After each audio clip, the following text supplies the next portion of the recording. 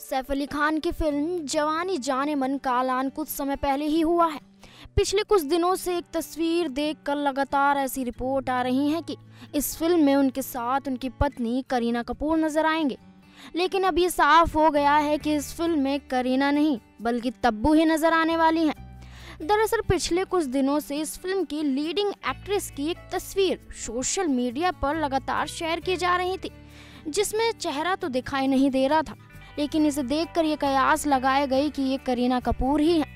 लेकिन अब अब तब्बू ने खुद ही सोशल मीडिया के ज़रिए जानकारी दी है कि वो इस फ़िल्म में नज़र आने वाली हैं। तब्बू ने अपने इंस्टाग्राम पर अपना फ़र्स्ट लुक दिखाया है। इसमें ये एक्ट्रेस एयरपोर्ट पर बूट्स और डेनिम के साथ ब्लैक शर्ट पहने खड़ी नज़र आ रही हैं। उनका ये लुक बहुत ही खूबसूरत नज़र आ रहा है। इसके अलावा आपको बता दें, पिछले दिनों अजय देवगन के साथ फ़िल्म दे दे प्यार दे में तब्बू नज़र आई थी। इस फ़िल्म में उनकी एक्टिंग की काफ़ी तारीफ़ हुई थी। अब तब्बू जवानी जाने मन में उनकी पहली झलक देखी जाएगी, जिसे फैंस बेताबी से इंतज़ार करते हुए नज़र आ रहे हैं। नेक्स्ट नाइन न्यूज़ से नाजमिन की रिपोर्ट।